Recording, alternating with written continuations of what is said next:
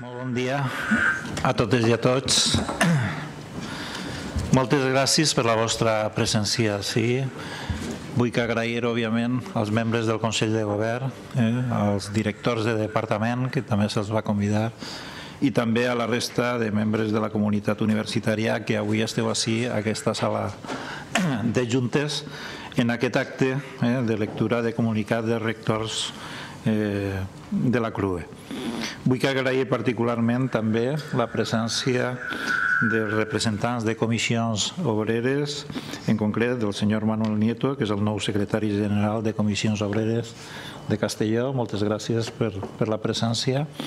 I per suposar també als eh, companys de, dels mitjans de comunicació que heu tingut a bé l'estar presents així en aquest acte dir-vos que el que avui d'alguna manera fem, eh, o, com vulgueu, o escenifiquem, si voleu, és una, una iniciativa de la Conferència de Rectors d'Universitats Espanyoles eh, per donar a conèixer a la societat la preocupació que tenim les universitats pels retalls eh, que apareixen en els pressupostos generals de l'Estat en matèria d'educació superior eh, i en particular també en matèria d'investigació, de desenvolupament i d'innovació. És per aquest motiu no, que els rectors havien pensat el fer una acció conjunta eh, que es materialitzara en un dia, en concret en aquest 10 de desembre, i a més a més a una mateixa hora eh, en totes les universitats i per tant en tots els campus universitaris per poder, eh, diguem, posar en palès, posar palès o, o manifestar la nostra repulsa a aquests retalls. Eh, aleshores s'ha confeccionat un, un comunicat, eh, que és el que vaig a llegir, i que s'ha distribuït a totes les universitats. Eh? La idea era fer-lo avui públic eh? davant de les comunitats universitàries i davant dels mitjans de comunicació, eh? tot i que sé que ja eh, pues bueno, és molt difícil eh, d'alguna manera guardar avui en dia secrets en les noves tecnologies i sé que el comunicat pues, mm, crec que ja s'ha fet públic per algun mitjà de comunicació eh, o per algun eh, mitjà de comunicació, en aquest cas radiofònic. Eh? Eh, el comunicat des de la CRUE s'havia fet, òbviament, en, en castellà, eh? jo el llegiré en, en valencià. Eh? Aleshores, eh, aquest és l'acte no? en el que Bueno, vaig a llegir el comunicat conjunt dels rectors i rectores de les universitats públiques espanyoles i que du per títol eh, la universitat garantia de futur. I diu el següent. Diu, les universitats són plenament conscients de la complicada situació econòmica del nostre país que també vivim en primera persona per aquesta raó, valorem els grans esforços que està portant a terme tota la ciutadania per continuar endavant. Les universitats, ara més que mai, estem treballant per millorar el nostre rendiment, a pesar de les retallades pressupostàries que patim des de fa uns anys. Fins ara, hem fet un esforç per continuar mantenint els estàndards de qualitat en les tres grans funcions de la universitat, la docència, la investigació i la innovació. Però davant la imminent aprovació dels nous pressupostos generals de l'Estat i dels pressupostos corresponents a cada una de les comunitats autònomes, ens trobem en una situació preocupant que pot perjudicar a la Universitat Espanyola tal com la coneixem fins ara i impedir el desenvolupament de les seues activitats essencials.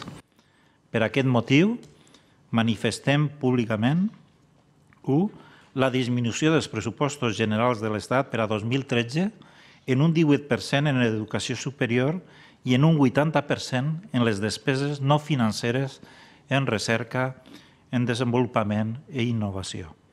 Suposen un deteriorament irreparable del sistema de recerca, desenvolupament i innovació que, juntament amb la congelació de les plantilles de recursos humans, portarà el nostre país a la pèrdua del tren de desenvolupament tecnològic i hipoteca la investigació i els majors avanços en la frontera del coneixement.